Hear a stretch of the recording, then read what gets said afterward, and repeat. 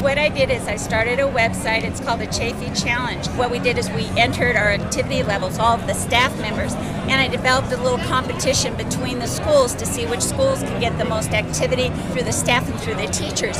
My hope is that it'll be an example for the kids so that the teachers that they admire and they work with anyways can be active and they can see their teachers being active and hopefully that'll help them to be active. It helped the school climate. It helped build the pride of the school and since it was a competition and we're not competitive at all, but it helped the school climate, brought us together and really improved our pride.